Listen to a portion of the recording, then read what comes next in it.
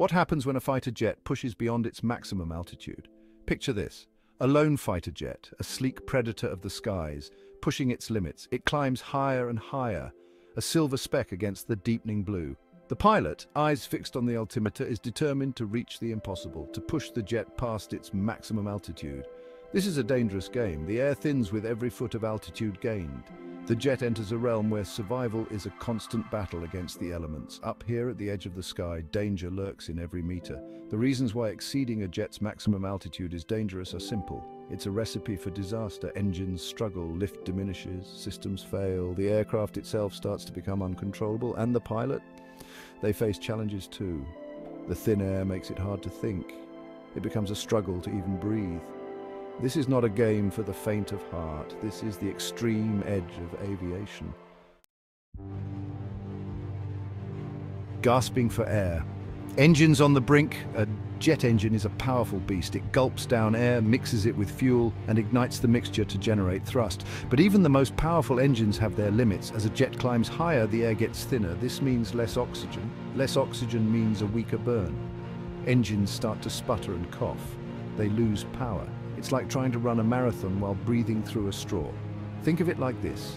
You're climbing a mountain. The higher you go, the harder it is to breathe. Your lungs struggle to get enough oxygen. It's the same for a jet engine at high altitude. The engine is starved for air. It's struggling to breathe. And just like a climber who pushes too high without enough oxygen, the engine can fail completely. A wing and a prayer when lift fails. A jet's wings are its lifeline.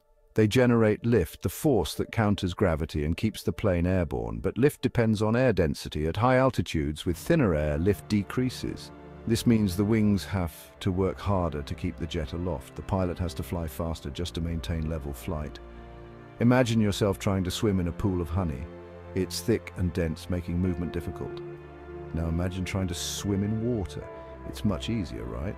That's because water is less dense than honey. It's the same principle with lift. Thinner air at high altitudes is like the honey, making it harder for the jet to stay airborne. The wings are struggling to find their grip. Systems failure. Losing control at the top of the world. Modern fighter jets are complex machines. They rely on intricate systems to function properly. Hydraulics, avionics, even the oxygen supply for the pilot all depend on specific pressure and temperature ranges. At extreme altitudes, these systems are pushed to their limits. The cold, thin air can cause lines to freeze and seals to fail. Instruments can give faulty readings. It's like a chain reaction. One system failure can lead to another and another. Soon, the pilot is struggling to maintain control. The jet becomes a bucking bronco.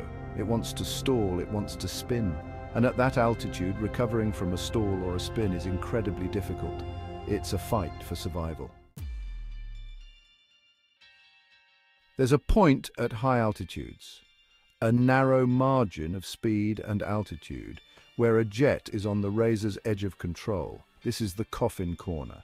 At this critical juncture, the stall speed of the aircraft, the minimum speed required to maintain lift, and the critical Mach number, the speed at which airflow over the wings becomes supersonic, converge. The jet becomes incredibly unstable. Imagine walking a tightrope. One wrong step, one gust of wind, and you're finished. That's what flying in the coffin corner is like. The jet can stall and plummet from the sky at any moment, or the shock waves from supersonic airflow can rip the wings apart. It's a deadly dance with disaster. Human limits, the ultimate constraint. The pilot is the heart of the machine, but even the most experienced pilot is still human. At high altitudes, the thin air takes its toll on the body. Hypoxia, a lack of oxygen to the brain, sets in. Judgment becomes impaired, reactions slow. It's like being drunk, but without the fun part. Imagine trying to solve a complex math problem while holding your breath. It's nearly impossible. That's what it's like for a pilot suffering from hypoxia. They're trying to make life or death decisions, but their brain isn't getting enough oxygen. It's a recipe for disaster. Designed for purpose staying within the lines. Modern fighter jets are designed to be formidable weapons within a specific flight envelope. This envelope encompasses their optimal altitude and speed ranges.